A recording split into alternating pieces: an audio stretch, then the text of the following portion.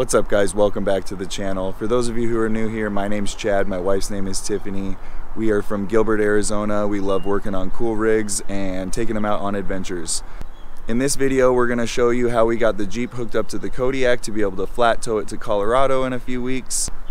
I had recorded a bunch of video for this episode, but it has since been lost, so I'm just gonna walk you guys through and show you what we're using and how we have it set up. We went with the Blue Ox uh, tow bar. It's rated for up to 10,000 pounds. It's the aluminum one, so it's a lot lighter. All the lighting and safety chains are hooked up. We have the Blue Ox mounting bracket for the JK. bolts right to the frame. And then if you look under the seat here, I slide it forward. We actually went with the Invisibrake. So that's all tucked away nice. We don't have to set anything in the footwell to push on the brake. I did have to wire in some diodes in these back taillights so that if I had the blinker on and I was hitting the brake, that the brake light wouldn't override the blinker on the Jeep. I did have to wire in another relay under this panel here and what that does is it allows all the lights to work without the key on in the Jeep. So the only thing we really have to do is put the Jeep in neutral and uh, as long as everything's hooked up up here, we are all ready to go.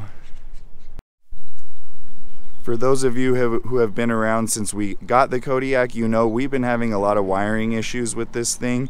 Um, we had replaced one half of the main engine wiring harness that goes to the glow plugs and the injectors.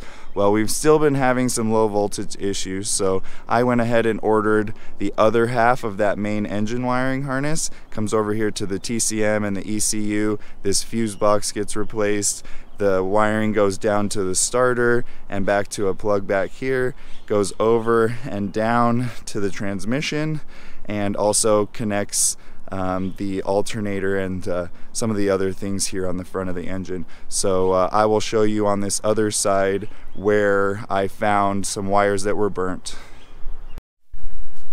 So normally these two main plugs right here would be way down here on a bracket and they kind of loop around back and then go over the engine bay back over to that side.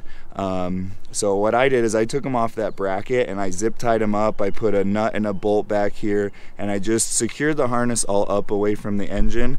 I also put some header wrap on this hot side intercooler pipe and I'm just to continuously double check in here that none of these wires are actually resting on this intercooler pipe. I'll go over and show you the old harness that I pulled out and show you where exactly it was uh, getting hot.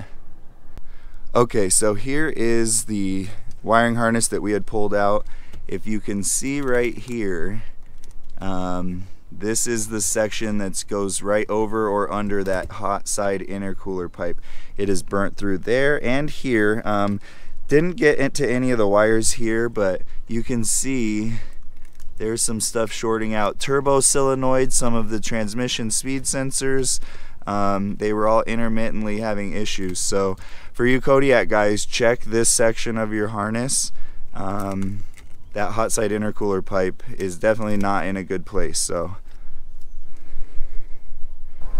And with that guys, that's going to wrap up this video. Thank you so much to everyone who's been following along and subscribing. We really appreciate it. Make sure you hit that like button, drop your thoughts and comments down below. We'll see you on the next video. Later guys.